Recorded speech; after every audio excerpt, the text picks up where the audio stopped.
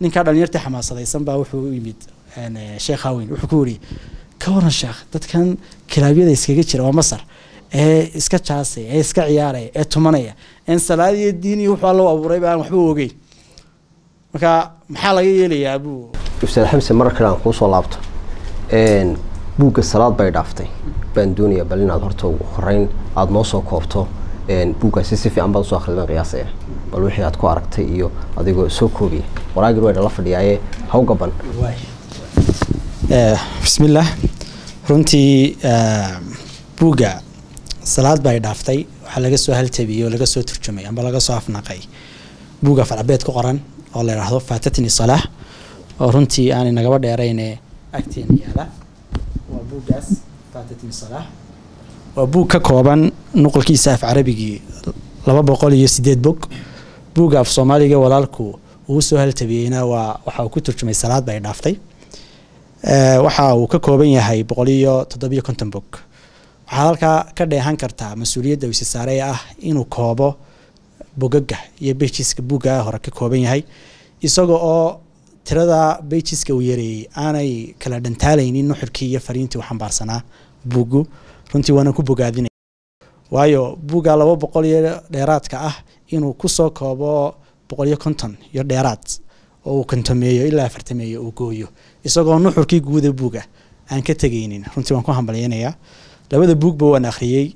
Si qurux badan ereyo cudoon hab talmoon shubaalkii habdhaca buugga runtii aada u qurxoon. Xiisahaad ku bilowdo baad beijka u dambeeya buugga kaga baxaysa. Isagoo beijba beij kuu dhiibayo bogba bog kuu dhiibayo ilaa iyo aakhirka xiisahaad ku dhammayso marka runtii intaasi waa labada buug isbarbardhigooga iyo bogaga ka kooban yihiin. Buuggu qiimaha uu leeyahay waxaad ka dheehan kartaa inta afee loo turjumay. Waxaa loo turjumay ilaa shan iyo toban luqadood.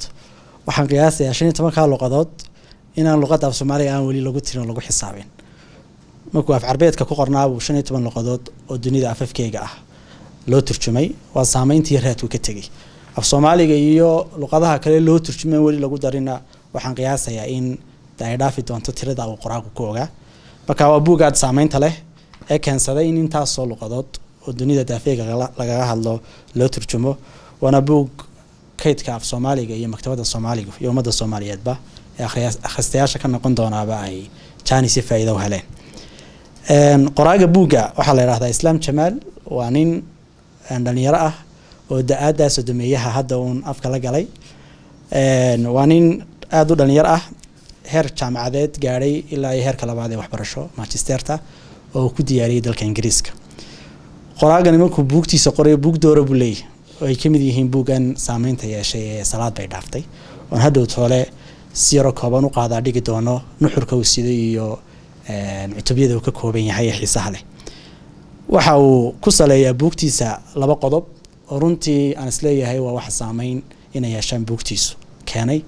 Kow waxa uu islaam jamaal ku dadaalaa buugta uu qorayo inuu gundhigyo sees uga dhigo inuu isku xidho kasmanafeeda amba waxaan cilmu nafsiga la yidhaahdo iyo diinta oo ah laba aan kala maarmaynin. Sidoo kale inuu mataaneeyo cibaadooyinka iyo nolosha waana ta uu daaran yahay buuggeenan salaad bay dhaaftay. Habka uga hadlaya salaadu maaha habkiinu naqaanay culimmada si guud culimmada islaamku ay uga hadli jireen si jaadgooni ah buu uga hadlayaa hab xiisala buu uga hadlayaa su'aalo door ah buu isweydiinayaa marka intaasi waa waa qoraaga iyo wuxuu dubdhaxaad uga dhigo buugta uu turjumayo. Haddii aan si kooban u galo nuxurka uu buugu sido. Buuggu sida ka muuqata ciwaankiisa salaad bay dhaaftay baa la ydhahdaa waxaa hoos yaalaa weydiin laba weydiimood ka kooban. Maxaa ay dad aada u tiro yari? U joogteeyaan salaada waa maxay sirta ka dambeysa maxaa ku kaalmeeya inay joogteeyaan sida oo kale waxaa barbar taala su'aal ka soo horjeedo lidi ku ah oo ah maxaa keenay dad aada u tiro badan inay salaada ka tagaan amba ay ka hadhaan waa maxay waxa ka hor istaagay kala teeda iyagii salaada su'aalahaasu isweydiinaya sidoo kale buugu wuxuu ka waramayaa in salaadu tahay udubdhexaadka diinta oy lafdhabar u tahay. Haddii la kala dhantaalo amba dhaawac gaadho amba waxyaalo loo geysto amba siday tahay looga soo bixi waayo diintii oo la curyaamiyey ay ka dhigan tahay. Haddii tiirkaas sidiisa looga soo baxo salaadii la ogana diintii la dhamaystiray oo runtii la dhowray la suubiyo la qurxiyey ay noqonayso. Nuxurkaasuu buugu sidaa. Weydiimaha doorka ahna uu isweydiinayaa marka si guud waxa uu sidaa waa fariintaas. Waxaanu isweydiinaya su'aalaha darandooriga ah ee runtii hab maangal ah uu isku weydiinayo. Isagoo hadhow toole markaa warcelintoodii iyo baadigoobka ka warami doona hadhow toolaan u soo noqon doona buugga iyo cutubyadiisa iyo inta cutub uu ka kooban yahay iyo in xul ah cutubyada qaar oo qorayaa akhristayaasha beri toole ku dhiirigelina inay buugga akhriyaan. Aan la wadaagi doono waanan hubaa in runtii buuggaas aan waxa weeyaan la laasan doono oo aan laga goyin doonin qofkuna uu ku cashcashan doono. Mahadsanid waa tahay waad inoogu socon doontaa? Qaybta labaad ee faahfaahinta. Ah raacinaya haddii buugga aynu yala qaada dhigno cutubyadiisa buugga waxa uu ka kooban yahay saddex iyo toban cutub. Eh, waxaan jecelahay saddex iyo tobanka cutub ciwaanadooda inaan si deg dega u dul maro kadibna aan ku dambeeyo meelo qaara oo aynu faahfaahino in dul istaagno oo aniga aada ii soo jiitay. Hubana in akhristayaasha ay soo jiidan doonto. Marka saddex iyo tobanka cutub haddii aan taxno waxaa ugu horreeya ciwaan oo cutubka koobaad uu sito oo ah ciwaanka uu buuggu sito ah salaad bay dhaaftay. Waxaa ku xiga cutubka labaad oo uu u bixiyey maalin uun cutubka saddexaad adigu waxaa tahay aragtiyahaaga. Cutubka afaraad astaanta mucjisada ah. Cutubka shanaad baahi ma qabtaa. Cutubka lixaad howlmaalmeedka cutubka toddobaad noqo jarmaade. Cutubka sideedaad halkaa hoy baa ah halkaa guri baa ah. Cutubka sagaalaad salaada mudnaanta si cutubka tobanaad doqonimooyin aan hore u sameeyey. Doqonimooyin doqoni- doqonimooyin aan hore u sameeyey. Buu ugu magac daray. Cutubka koob iyo tobanaad tamar ma lihid baa la idhaahdaa cutubka labiyo tobanaad ku fara adeeg salaada cutubka saddex iyo tobanaad waxaa la idhahaa salaad. Eh, sidaa ayaan ku bartay isaga. Sidaa ayaan ku bartay isaga. Marka haddii aan ku sii socdo aynu u gudubno cutubyada aadka ii jiitay ee keensanaya buuggan inuu saameyn iyo raad weyn yeeshay Een, dhalinaya in qof kastoo soomaaliya amba ha ku jiro bahda tirada yare salaada oogtay joogtaysa ama ha ku jiro bahda iyaga iyo salaada ay kala teedeen waxyaabo badan oo buugu ka hadlayo. Waxaynu yaro dul istaagi doonaa cutubka sita cinwaanka buugga oo laga salaad bay dhaaftay. Cutubkan qoraagu waxa uu ku qaadaa dhigayaa dhacdo isaga soo martay kuna dhalisay inuu noqdo bahda salaada oogta ee joogtaysa marka wuxuu ka warramaya cutubkaasi oday duq ah oo gaboobay oo da-da sideetamaadka madaxa la galay oo ushiisa iyo bakooradiisa ku tukubaya oo mar kasta aadaya masaajidka. Halka qoraaguna barta uu joogo uu isweydiiyo odaygan tamarta daran taagta daran maxaa kalifay inuu joogteeyo salaada halka isaga weydiimo iyo su'aal ay ku dhashaan ah adiga maxaa salaada kaa hortaagan naftiisu marka ay soo hordhigto een, marmarsiyo ban abuur ah oo ay ku leedahay adigu mashquul baad tahay waqtigu kuguma filna hawl baad gacanta ku haysaa hadhow baad tukan doontaa dabeeto taasi ay ku dhalinayso dareen ah inuu baadi goobo maxaa keenay dadka qaar oo aada u tiro yaryahay inay joogtayaan salaada. Sida odaygaasoo kale halka kuwo kaleo tiro badanoo qoraagu ku jiraana aanay salaada ogisteeda iyo warkeedaba aanay haynin. Markaa su'aalaha darandooriga ah ee dareenka ku abuuray wuu ka bilaabaya socdaal dheer oo uu ku baadi goobo weydiimahaas. Waa maxay sirtaba qarsoon dadka salaada joogtaya tirada yar? Waa maxay waxa ugu weyne ka hor istaaga dadka salaada inaanay tukan amba ay wahsadaan amba sagsaag geliyaan? Cutubkaasi inahaasuu ka warramayaa waana halka ay kaga dhalatay buugga inuu magac bixiyo. Isagana naftiisu markaa ay ku dhalin jirtay hadalka ah salaad bay dhaaftay. Macnaa maanta salaad bay iga tagtay. Halkaasuu markaa socdaalkiisa dheer uu ku baadi goobayo uu ka bilaabayaa ta kale aynu dul istaagaynaa waxaa la idhaahdaa maalin uun cutubkaynu dul istaagayno. Cutubkan qoraagu wuxuu ku dul istaagaya weydiin ah iyo su'aal ah. Maxaa sababa dadku inaanay salaada tukanin waxa uu nuxurka cutubkaasi ka warramaya uu yahay in dadku ban abuurtaan marmasiyooyin bug ah samaystaan duni dhalanteed ah oo u bixiyey qoraagu maalin uun. Maalin uun baan tukan doonaa. Marka dadkaasi waxay sugayaan waxa weeyaan awood mar marla arag ah oo samada ka soo degta oo hinjiso kicisa dhanka salaadana u kicisa si ay hadhow talo salaada markaa u ogaan. Marka wuxuu qoraagu ku soo ururinayaa in aanay ahayn awood dheeriya uu qofku helay hibe ilaahay si gaara u siiyey dadka iyo doorasho alle inaanay ahayn. Wuxuuba ay ku urursan tahay uun waxa weeyaan go'aan geesinimo leh iyo dhiiranaan qofnimo. Intaa inay salaadun kaa xigto.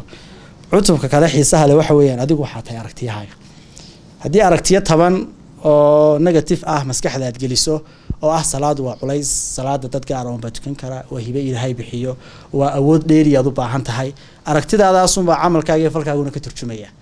Marka waa wixii aad maskaxdaada geliso uun dhanka kale haddii aad aragtiyo togan maskaxda geliso ah salaadu waa wax fudud kaaga baahan go'aan iyo geesinimo aad la timaado kadib aad markaa ku dhaqaaqdo.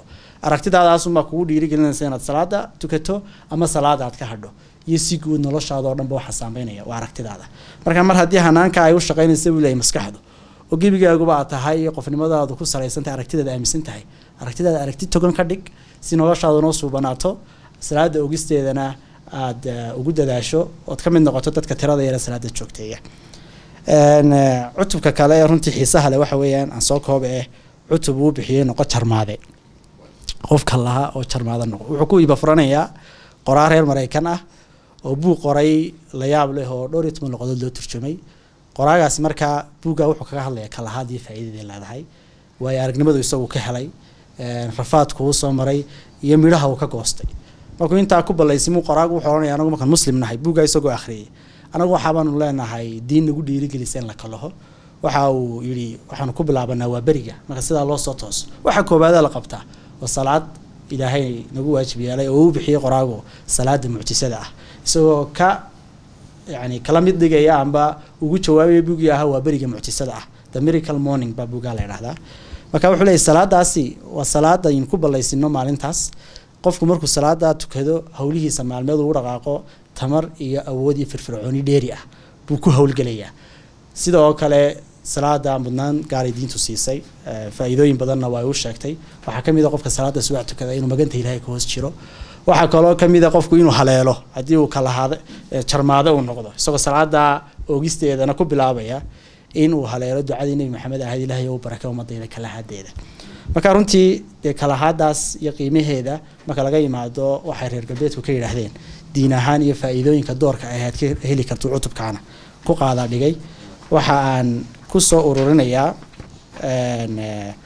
qoraagu cutub uu bixiyey ku faraadeeg salaada cutubkaasi waa aayad uu ka soo qaatay qayb ahaan oo suuratu daha ku jirto ilahay nebi maxamed ku farayo wa amur ahlaka bisalaati wastabir calayha ehelkaaga iyo xigtadaada far salaada.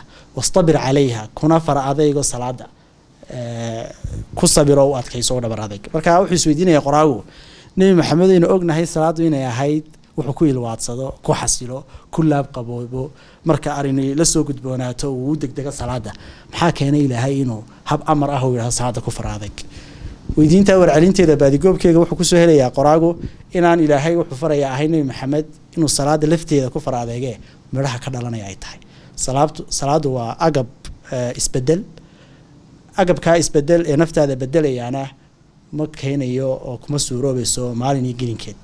Sidaasi darteed si aad u hesho midhaha aada isku bedelayso waxaad u baahan tahay inaad salaaddii ku fara joogtayso. Marka waa midhaha amarka la siinayaa ee ma aha salaada lafteedii waayo waynu ogsoonahay dee salaadu halka nebi maxamed agtiisa ka joogtay. Inahaasaa runtii ugu muhiimsan aadna i xiise geliyey iyo door kale oo fara badan runtii oo ay ugu tegi doonaan akhristayaashu buugga. Waanaan hubaa in xiisahay ku bilaabaan ku dhammayn doonaan weliba ku cashcashan doonaan muddo badan gunaanadka buugga. Qoraagu waxa uu leeyahay haddii aada rabto iftiin aada ku ifiso iyo kah aad ku ifiso noloshaada mugdiga ah. Haddii walbahaar iyo walwal uu holocinayo kashaada u firdho ardaaga salaada si ladnaanta iyo liibaanta adduunya aakhiraba aad u hesho intaa weeyaan gunaanadka buugu xiisaha uu ku bilaabmay waad arkaysa wuxuu ku gebagabeeyeyna waad arkaysa inta dhexda ugu tegaysaana waa in kaloo ka xiisa badan. Sidoo kale waxaan ku soo koobayaa buugga salaada oo keliya kama waramayo. Wuxuu qofka ku dhiirigelinayaa inuu ku dadaalo wax kasta oo anfacayo waxtaru leh if aakhiraba.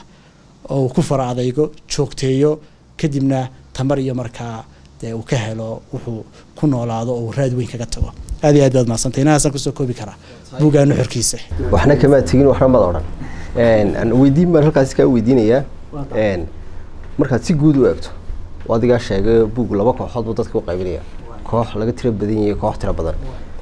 Iyo muu saameyn gaara ku yeelanaya amba qoladee buu si gaara ugu socdaa. Wallaahi labada qoloba saameyn gaaruu ku leeyahay. Qolada salaada joogtaysa wuxuu tusinayaa inaanay ismoodsiinin salaadan ay tukanayaan inay tahay de awood gaara iyo doorasho gaaro ilaahay siiyey.